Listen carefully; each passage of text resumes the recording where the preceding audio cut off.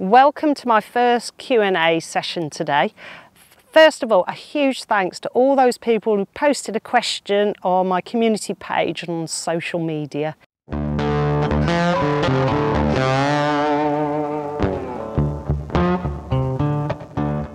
So first question is how did I get into cycling?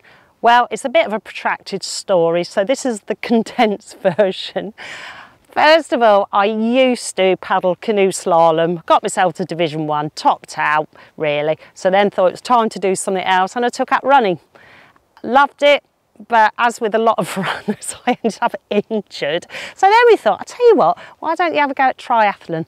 So I bought myself a bike, actually bought my first bike from Swinnerton's in Stoke and I cycled down the A500 which is a really busy dual carriageway down to my home which was about nine miles away and I was too frightened to change gear on the down tube shifters because it made me feel really wobbly. Anyway I eventually got home uh, but that didn't put me off. Then after that I had a bit of a go at mountain bike and I have to say I loved that bit. So when I started cycling, I had to go at time trials, I had to go at riding on the road, and as I've already said, I rode off-road as well. And eventually I realised that the off-road was a thing that I loved because I like being with nature. I like things a little bit of whoa sometimes as well. So that was it. That was totally my bag.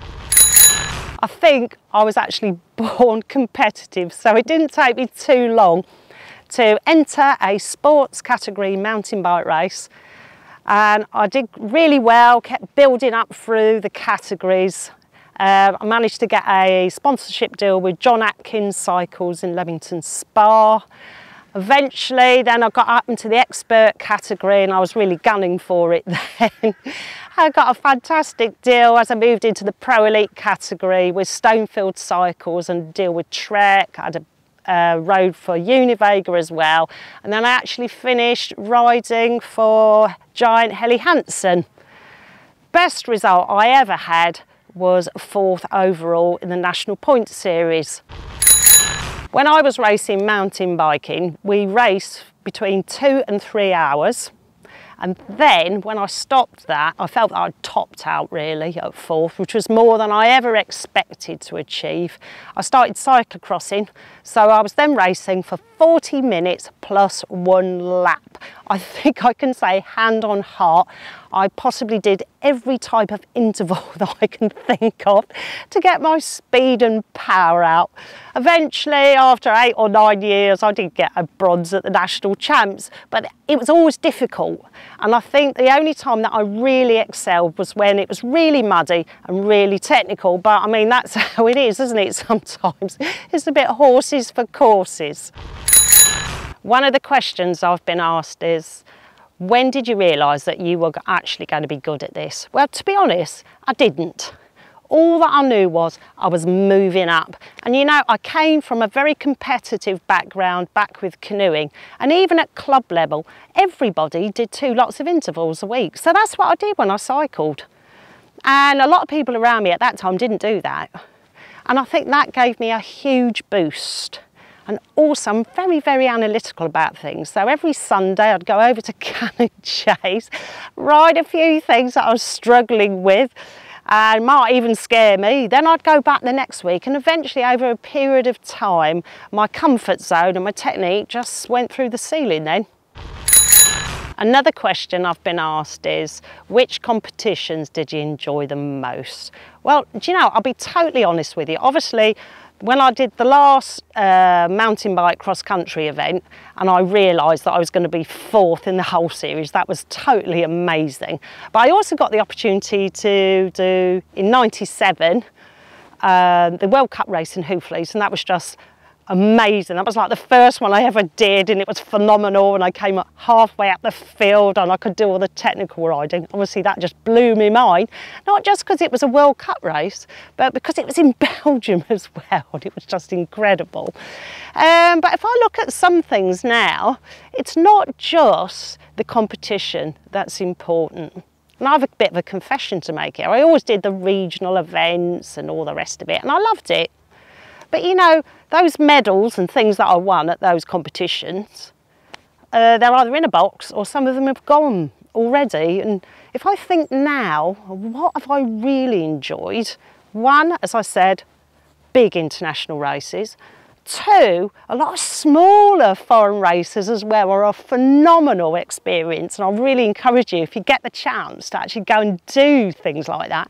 But also uh, two-day Polaris events which for anybody who doesn't know was a two-day uh, sort of orienteering style event. Carried all your stuff, seven hour score event so that meant get to as many controls as possible for seven hours on Saturday and on the Sunday you had to do five hours and those were brilliant. Uh, Paris-Roubaix Sportive, uh, Ronde van Vlaanderen Sportive and one that's amazing and I desperate to go and do again was I rode from west to east over the Pyrenees. But those are personal challenges. Hmm, what does that mean? so what does the future hold now? Well, those personal challenges stick with you forever. So those are totally on my list. And some gravel racing, because that's the same, isn't it? And also it's almost back to that old style MTB racing that I was doing, you know, three hours and beyond. So, you know, I do think genetically and mentally, that's what I love doing. So why have I started this YouTube channel? Well, I am a teacher by trade and a mountain bike leader.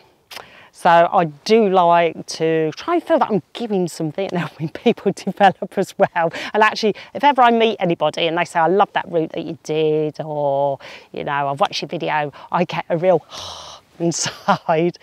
Um, yeah, and the other thing is, I do like talking. you probably guessed that already. That's just how you are when you're a teacher. Somebody's asked me how much money do I make from this YouTube channel? Well, the answer to that is none. I have now secured a thousand subscribers, which was one of the criteria. But now you have to have 4,000 watch hours in a year, which I haven't got yet, but I am moving towards. Um, I do love doing it and now it has given me a project and I have to say sometimes it gets my backside out the door doing exciting things. So you know I love that bit. So I am never going to get rich from this but I do love reading your comments and I like meeting people out and sharing this with you few weeks ago I was out on the High Peak Trail. I always wear Here Come the Belgian stuff and this woman said to me, Julie do not stop wearing that shirt because that makes it so easy to identify you. And I said, do you know what, who Here Come the Belgians are? She says, no, tell me about it. So here goes. It's actually a cyclocross club or group and uh, we race cyclocross, strangely enough, already said that one, and anything to do with cobbles. Totally my bag, probably is yours as well. I have actually just set up a Ko-fi account. Thanks so much to the couple of people who have already contributed. That's brilliant. And I plan to put that money towards things to help me develop this channel. A big round of applause to these lovely people. Next question, how many bikes have I got now? well, I've got five. Well, I did have. Mountain bikes died. I've got two cross bikes, one that only has cantilever brakes, but I have to say it's brilliant for when the conditions are really awful and I want to commute to school. That's a good one. A cross bike that I've converted now into gravel bike for racing, like World Cup racing. Um, a Camino, which is my do whatever I like on bike. And I have a road bike, a very nice carbon road bike that lives on the turbo. and probably will live there for quite a long time. My next Q&A video is going to be about performance and training. A few of you asked me about what sort of training I do preparing for gravel and also how does that change as you get older. So if you have a question on either of those topics, please put, post them on the community page or on social media and I'll check them out. Thanks. If you've enjoyed this video, don't forget to give it a big thumbs up, share it with your mates and maybe even consider subscribing and you can even contribute to my Ko-fi fund as well. Don't forget, don't do anything by halves, be more like Phelan. See you soon, thanks for watching, have fun.